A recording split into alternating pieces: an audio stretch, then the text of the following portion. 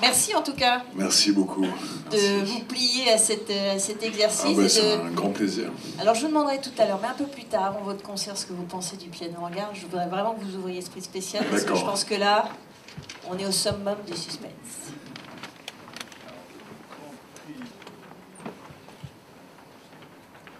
Le grand prix spécial, le grand coup de cœur du grand concours de piano en gare est Monsieur Émeric d'Anjou.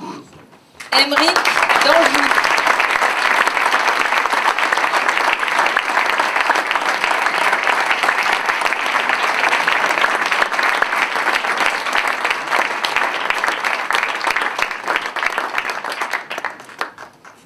Je vais demander en même temps à tous les autres euh, prix de nous rejoindre sur scène pour faire la photo. Émeric, bonjour. Bravo. On va vous donner un micro. Tenez.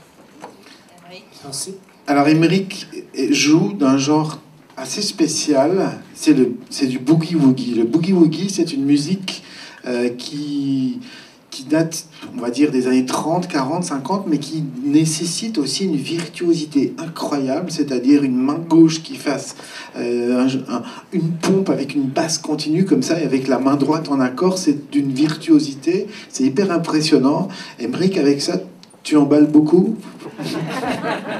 Parce que c'est vrai, c'est très technique. Musicalement, c'est assez. Et il paraît que quand tu joues dans les gares, il y a toujours plein de monde.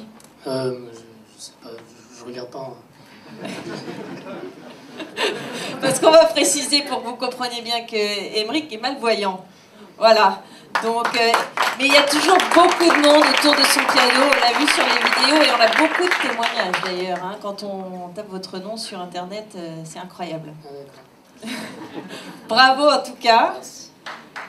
On vous applaudit encore. Arthur H est à votre gauche. Voilà. Le prix.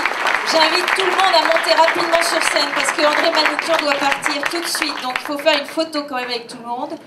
André, il faut dire le mot de la fin. Voilà, alors je voulais juste dire que je dois partir tout de suite parce que je dois être en direct sur France Inter à 17h, un peu tous les jours. Et d'ailleurs, demain, euh, dans ma chronique musicale, je parlerai de, de, de, bah, de, cet événement et je parlerai de, de, tous les gagnants qui sont là.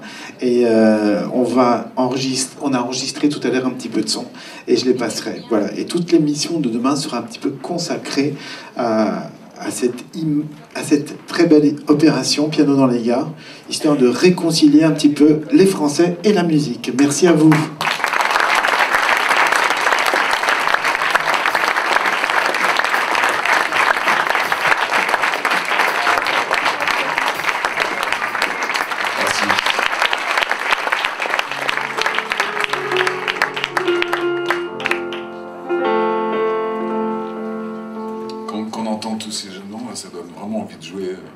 C'est vrai que en France, la, musique pourrait être beaucoup plus développée. Puis moi, la, première fois que j'ai mis euh, mes mains sur un piano, j'ai senti une espèce de choc électrique, comme ça, de, relation d'amour avec cette espèce d'immense truc qui résonne, qui est, qui est tellement riche. Pourtant, c'est une, vieille machine du 19e siècle.